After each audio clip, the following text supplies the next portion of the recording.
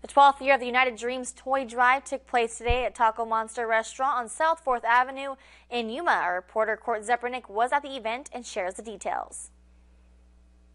The United Dreams is a charity organization right here in Yuma, ready to put a smile on kids' face for the upcoming holiday season and provide them with plenty of toys.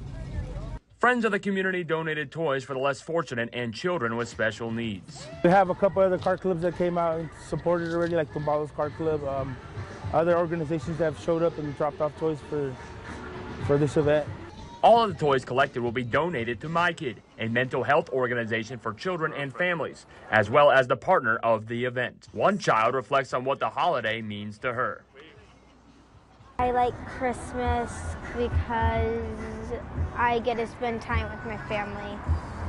Daniela and her little sister Amelia are helping out at the event for the first time. That kids that have special needs that come here, and sometimes we'll go to their house to uh, surprise them with Santa Claus.